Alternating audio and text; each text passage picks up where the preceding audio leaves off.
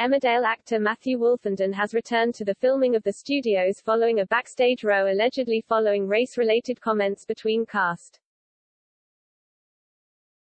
Matthew, who plays David Metcalfe, has been absent from the soap since October, with his character vanishing after a huge dramatic event in which he was almost killed in Rapids.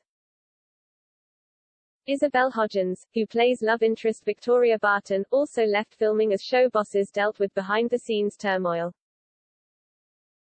Both characters were explained to have been away on holiday after almost being killed at the hands of murderous Meena Jutla, Paige Sandhu.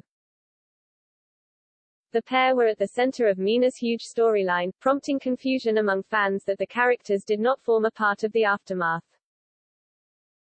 Metro.co.uk has since seen images of Matthew posing for photographs with fans outside of the studio as he drove away. This seems to signal that he has returned to the show, although the same is unable to be confirmed or denied of Isabel. Emmerdale had no comment to make when approached by Metro.co.uk. The photos were taken on December 14, before filming for Christmas wrapped up.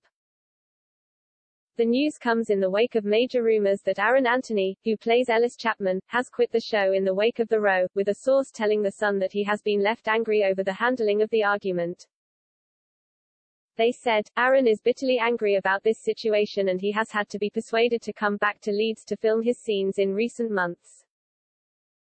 He has done some filming over the last couple of weeks, but the understanding is that those scenes will be his last. He has been very vocal in his opinions about the allegations and about the way in which the inquiries have been handled by the bosses. He now feels his position on the show is untenable.